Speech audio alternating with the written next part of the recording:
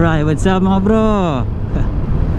Yan, magkakabit tayo ngayon ng ano, or naikabit ko na pala.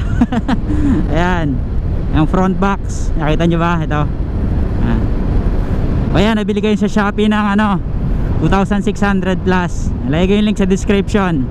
Front box pang Beat Street, BTSP version 2. Na bago ko kayo bigyan ng review nito, pakita ko muna sa inyo paano ko siya kinabit.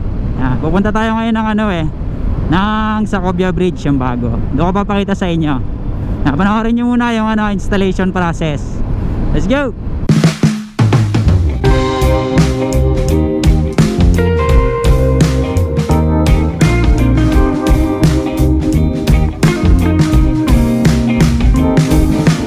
Ito yung ano, front box.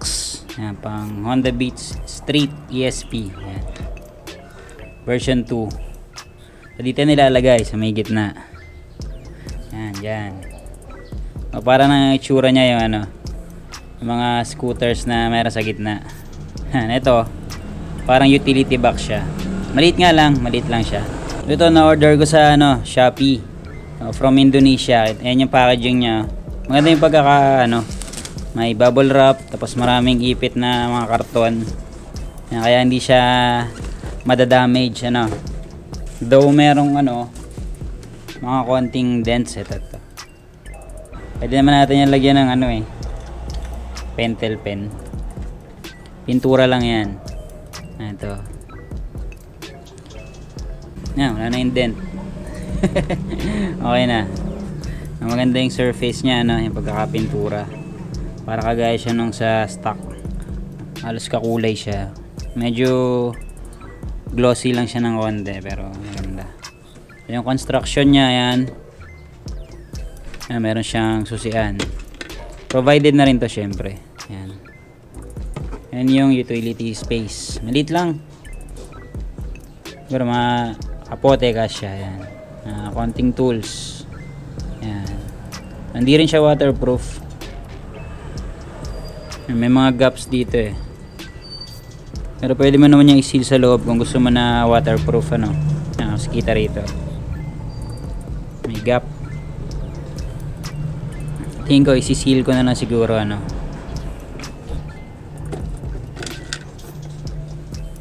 Tsaka ito. So ano siya no, 3 piece construction. Yan. Made in fiberglass. Ito yung kapal oh. Makapal yung fiber niya. Hindi siya manipis kagaya ng mga tire hugger na fiberglass. Ayan, medyo manipis yun eh. Ito makapal. Itong ibabaw lang na cover medyo manipis yata. Makapal din. On-order ko to sa Indonesia ano, ah, 2,600 plus. Kasama na shipping. Medyo mura na siya. Medyo mahirap gawin to, yung imomolde mo, ano. Custom talaga, ano eh, mga gawa sa Indonesia. May sila gumawa ng mga customized na, ano, mga kagaya nito, mga products. Yan, utility box. Mga pamporma lang talaga to eh. Mawala ka na kasi ng gulay board. Pero yan, depende na sa inyo kung gusto nyo. Gusto ko lang subukan. Yan, para mas maporma, ano. So, kailangan natin baklasin to para maikabit natin sa motor. Yan. Lang naman yan, apat na screws. Yan, sa dalawa, tatlo, apat. Tapos may dalawa sa loob. May dalawang screws yan sa loob. Yan. Para mapaghiwalay natin siya. Itong dalawang side. Yan, nakabit na natin ano, sa motor. Tanggalin kayo muna yung mga screws. Ang tanggalin natin, meron siyang ano sa ilalim. Yan, para secure talaga no. Ayos pala eh. Hindi lang siya basta naka-screw. Pero actually, pwede natin palitan to ng ano eh. Ng gold bolts ano. Or yung titanium white bolts. Ah, depende na sa inyo.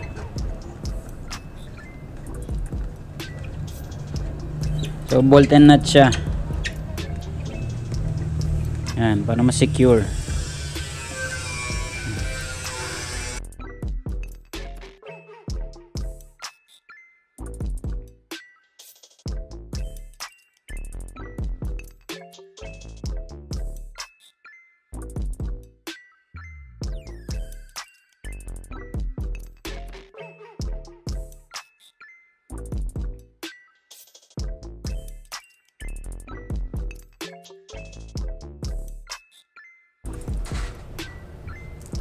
Yan, tanggalan natin yung bolt and nuts. Ah, apat siya. Ah, makapal din siya oh. Kapal talaga. Pero mas maway ito mas makapal pa ng konti ano. Pero makapal na siya. ah. Siguro ito palit na ako ng ano ng gold bolts tapos ibilang ko ng lock nut para mas okay. Tanggalin natin itong dalawa sa loob. Yan, para paghiwalay natin to. Yan, bali 3 piece construction siya.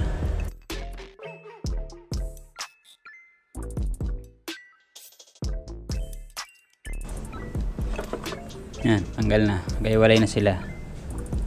Yan, ito, rekta lang na naka, ano, naka screw. Wala na siyang nut sa ilalim. Yan, okay naman, mukhang matibay naman. Kapal, oh. Kapal talaga siya. Ito pala yung hinge nito. Yan, maganda rin. Naka-rivet. Naka-rivet yung hinge niya. Pero maganda. Hindi siya flimsy. Ito lang, medyo manipis ng konti, pero mukhang okay naman. Kapal na rin. Kabit na natin to ano. Unahin natin to yung pagkakabitan ng bolt.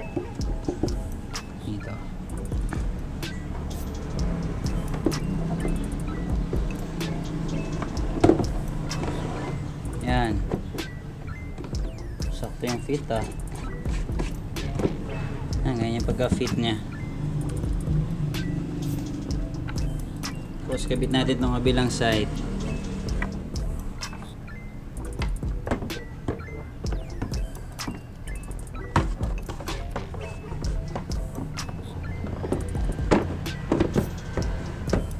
Wow. Ayos ah.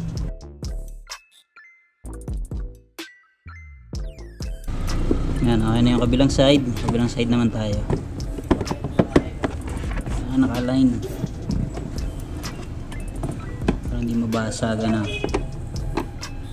Pero actually makapal talaga siya. Hindi siya basta-basta mababasag. Yan, okay na. Yan, yun yung itsura niya. Yung top cover na lang. Ayos no? Kapit natin yung top cover. Ito na lang muna gamitin natin. Kung kasama niya na bolt and nut. Palitan na lang natin. Ayos. Hindi siya basta-basta mahuhugot syempre. Nakatornilyo eh. Yan ah.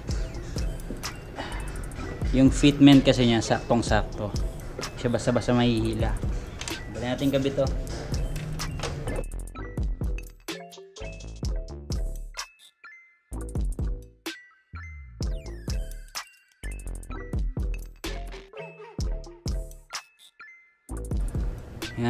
itsura niya.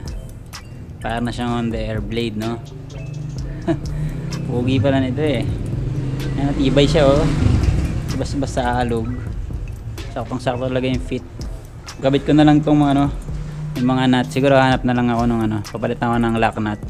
Siya ito ng siguro Allen siguro or ano, gold bolts kung ano. Bala na ako nung mabili ko. Yan, makikita niyo naman yan sa ano, review. Yan, balik tayo sa review. Ayan, nakita nyo na kung paano i-install, no? Dali lang. o, yung mga bolts niyan, pala, bolts and nut. Nalitan ko na yan ng ano, ng stainless. Ito, stainless na to. Tapos yung ano niyan, nut niyan, lock nut na siya. Yan, yung lock nut, yung ano, yung merong goma sa dulo nung ano, yan, para hindi siya matatanggal na pag nagpa-vibrate, ano. Tapos, tinurnilyo ko na rin yan pala. Tinurnilyo ko na sa fairings kasi medyo maalog siya eh. Mamaya pakita ko sa inyo. Tornilyo ko ng apat na ano tornilyo yung body bolts. Ah, binutasan ko na lang. Di ginamit ako ng Dremel para mabutasan ko. Okay naman yan. Wala na siyang alog. Hindi siya maalog. Nasa waterproofing naman. Wala hindi talaga waterproof to. Ano kasi talaga siya eh may mga gaps. Hindi pa siya maka waterproof ah, iniisip ko kung sisil ko wag na lang. Hindi ko na siguro lalagyan ng ano ng mga gamit na hindi pwedeng mabasa ano. Yung mga kapote na lang yung kapote nakalagay dyan eh. Pero inalis ko muna. Para pakita sa inyo. Yan marami din kasya. Ah, mga kapote mga yung vape ko kasya eh. Yung ano disla kasya. Yan. yan pero ito pang ano lang talaga to ha pang forma lang. Although magagamit mo naman talaga siya extra luggage utility box ano pero hindi talaga siya malaki eh. Tsaka makawalan ka ng gulay board. Pag halimbawa yung mga malengke ka yan hindi mo siya ano hindi mo na siya magagamit ano. Pag marami kang ginogrocery. Pero para sa akin ano okay lang na meron ito. Pwede ko naman ilagay sa U-box eh saka sa top box. Kung mag-grocery kami. Wala lang talagang gulay board. Yan, punta lang tayo dun sa dulo tapos uh, pakita ko sa inyo yung itsura niya. At try din natin i-mount na ano kapag nakasakay ako kung makikita nyo. Ah, dito na tayo sa dulo. Sa Cobia Bridge. Ah, papuntang Tarlac yan eh. Napakita ko na sa inyo. Ah, yan ang itsura niya pag ano nakalagay na yung front box. Ayos ba? Pumorma siya tingnan ano. Ano siyang gulay board. Ah, itsura ng motor pag mayroon yan parang siyang airblade parang ganyan airblade diba walang step through na gulay board. Ah, yan itsura niya. Kaya namusga kung ano maganda ba o hindi maganda para sa inyo. Subjective naman kasi ang ano eh, looks eh. Para sa akin maporma siya. Forma siya tingnan. Ito yung ano yung bolt niya pinalitan ko. Yan apat yan. Pinalitan ko ng stainless bolts. Yan stainless na yan. Tapos yung ilalim niyan may lock nut. Lock nut na yung pinalit ko. Yung lock nut parang ganito. Yan parang ganyan. Yan. Meron siyang goma dito para pag hinigpitan mo siya hindi na siya matatanggal sa vibration ano. Tapos buksan natin. Pakita ko sa inyo yung ano yung storage capacity. Kasi wala pang masyado nakalagay dito tinanggal ko eh. Yan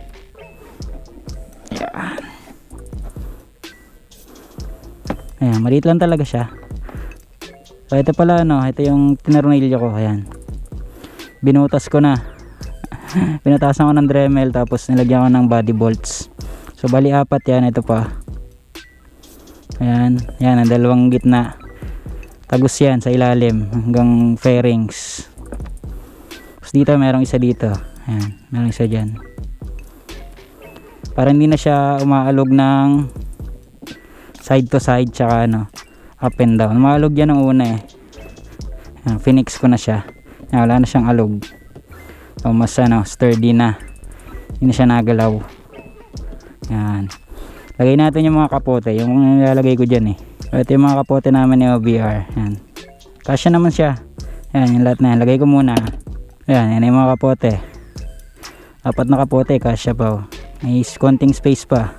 Ito yan yung disla ko kasya pa siya yan kasya pa oh So okay din siya extra luggage. Yan, okay lang naman mabasa yan. Kaya yan ang nilalagay ko diyan ano. So try naman natin ano, i-mount ko siya ng sa motor. Para makita niyo pag nakasakay ako ano. Testing natin, tara. Ayan, balik na tayo. Yan yung best angle na naiset ko eh. eh wala akong maalog ha. Tingnan nyo na lang. Yan. Yan, ganyan tsura niya pag ano ah, chill na lang chill ride ayos ba check na lang din yung footage ano mga tigil tayo dun banda dun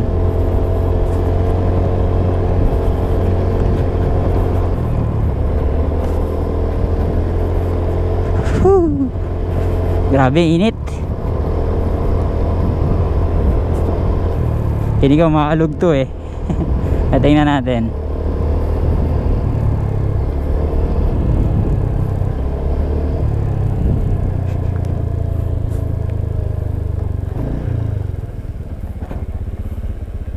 Whew. Alright, last look. Ayan. Medyo malog yung ano. Kuha natin kayo na pero okay naman. Yan na yung ano natin. Front box. Whew. Init. Masibat na tayo, ano. Let's go. Alam ko meron din ito na ano eh. May nakita pala ako. Pang Honda Beat version 1. Honda Beat Carb. Tsaka ano.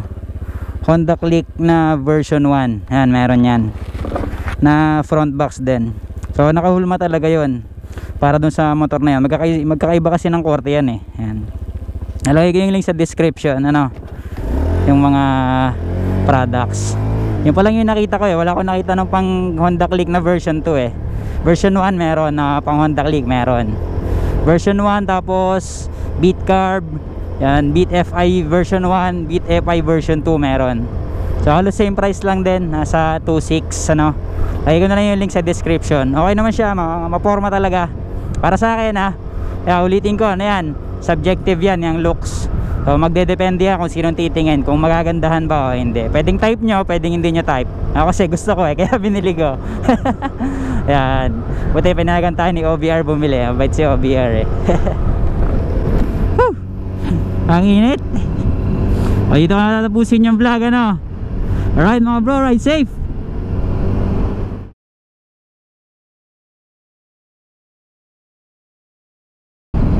Kasingit na lang natin to no? Ayan no? Yung palang battery cover niya. Yung ng battery natatakpan din. Mas mahirap siyang baklasin ano? Ayan. babaklasin mo pa yung mismong ano? Mismong front box bago mo ma-access yung battery cover. Ito din pala oh. Hindi sumasabit yan. Luwag pa. Ilan talagang ano yung cover ng battery kailangan baklasin mo ang lahat. Bago mo baklas yun lang. Okay lang yan. Tiis pogi ba